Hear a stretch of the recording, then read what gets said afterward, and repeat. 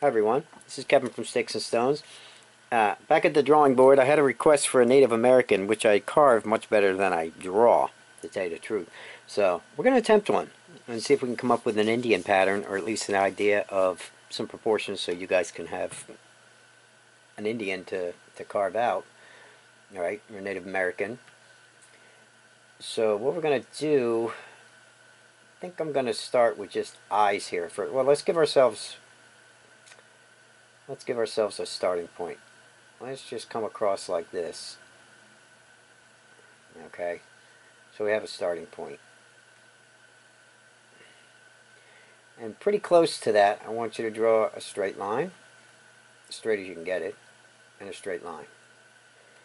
Alright, now above that we're going to have some eyebrows.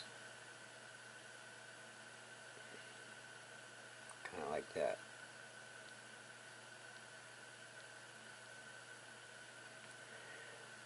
Let's see if we can come up with as somebody that looks kind of Native American. All right, we're going to make the start of his nose from here. We're going to come down and make it fairly wide. Okay, we'll give this guy some character. I'll hook on it.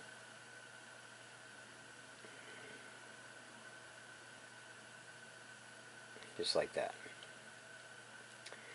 Alright. Now we know they got high cheekbones so we start coming in at the top just like that.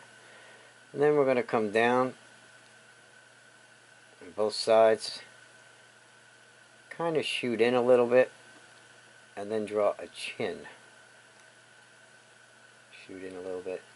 I want to extend that chin there. And get my eraser. Try and make it fairly even. Okay. Now we're going to give him a little teardrop right here, you know, where uh, they say the angel put his finger on you and told you a secret when you were born. What is that called anyway? I have no idea. We're going to start a mouth by just making a line right under that. And you don't want it too frowny and you don't want it too smiley. Now right here, to go up to his eyes, I'm going to go up and over just a little and make those eyelids. Up touch the line if you want over but make them fairly small alright we'll give them a pupil.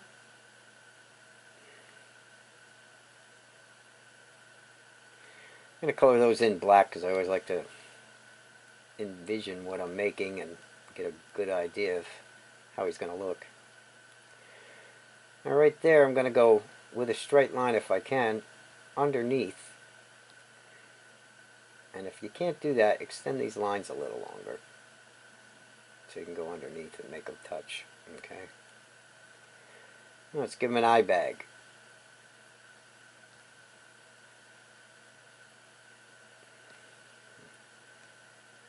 Little cheek up here, a couple little detail lines.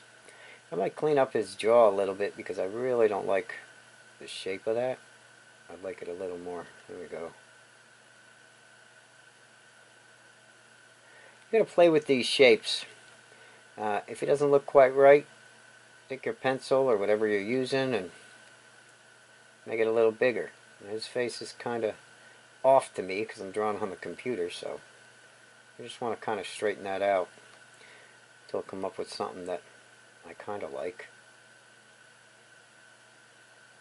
I don't want it too round. Like right here it seems too round for me, so I'm going to change that. I want to come down a little bit more.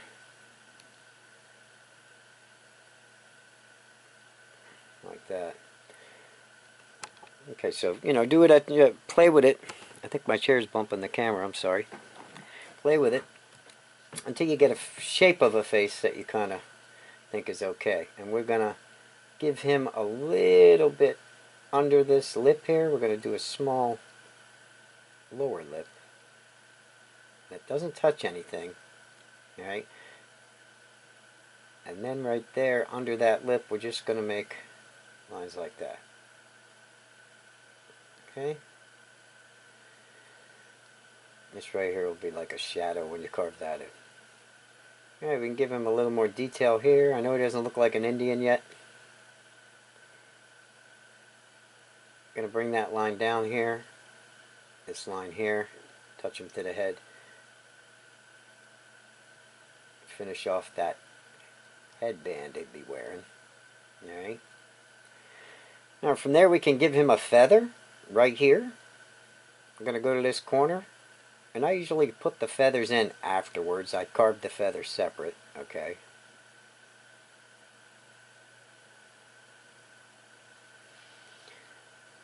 Then I'll insert it. I'm just going to put a couple of lines for the detail to insinuate detail on it. Because remember, this is supposed to be a pattern for a carving. And that feather would get put in separate. Okay. Now, go down and down right from there. And across and across. Because what we're going to do with this is, you know, little bands that, well, they're not bands, they called? Uh,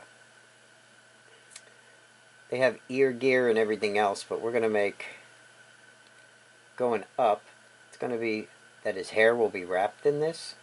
So, I don't know what they call it actually, but this would be what wraps his hair. Not a expert on Native American culture. But what we're going to do from there is just come down, make a wisp of hair,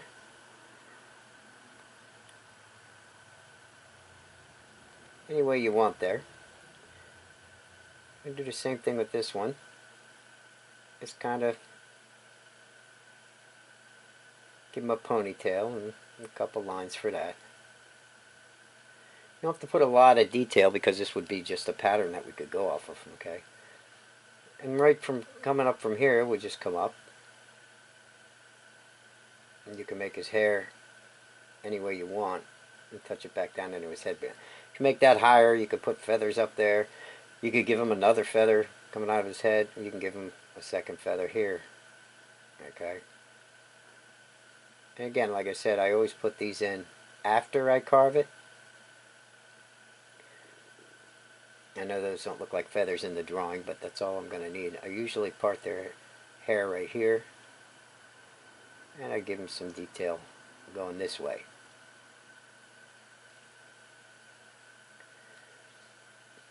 Okay, of course his headband I would color in or uh, do whatever. But this right here is a good way to start off a simple Native American face. I mean, when you carve it, you put the lips in and everything, but it's kind of hard for me to do with a pencil. I'm just giving you an idea how you could do an Indian. And again, I would play with his face. If I was carving and I didn't like the shape of his face, I might thin it out or make it fatter. It would depend. I like kind of a square-jawed Indian, all right? But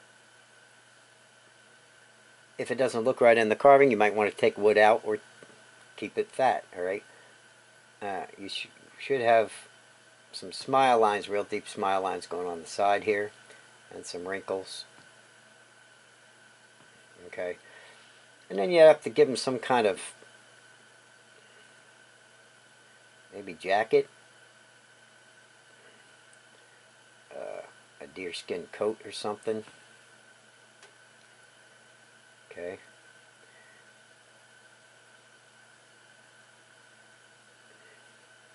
So that come down like that. And maybe bring it, you know, this way and close it off. This would be like a bust, okay. And you could even come in the center here and give him a, a necklace Maybe put a little tooth or bone or something on it.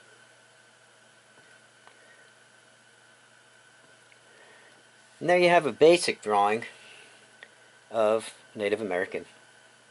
Right? Hopefully that helped you out with some of the features. Uh, like I said, I'd have to carve one for you to really do it. I'm by far not really good. I wonder if we colored them in if you'd be able to see them any better. But that right there is what I'm going to go with. That's what I'm saying. You can believe it or not, that's how I would basically do some features if I was going to carve a Native American. Let me see if I can color him in a little bit and see if he looks uh, a little more normal to you. Alright, could do that. I could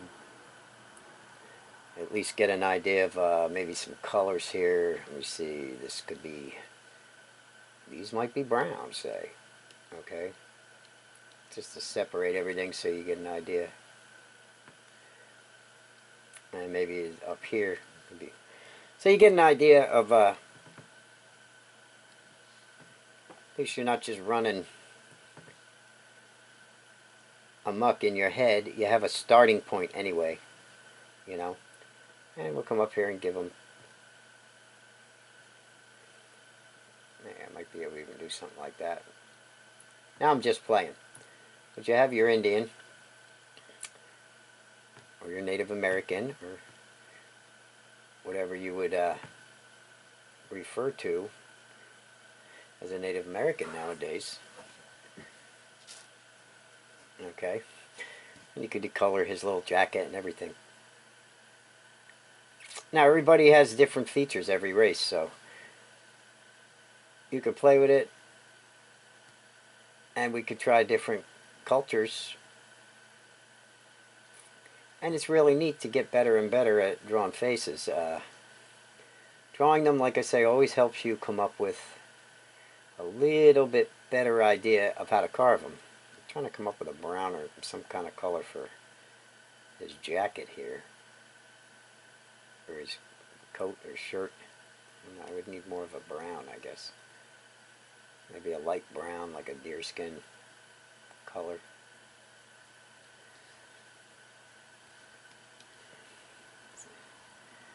give you an idea of that. Okay.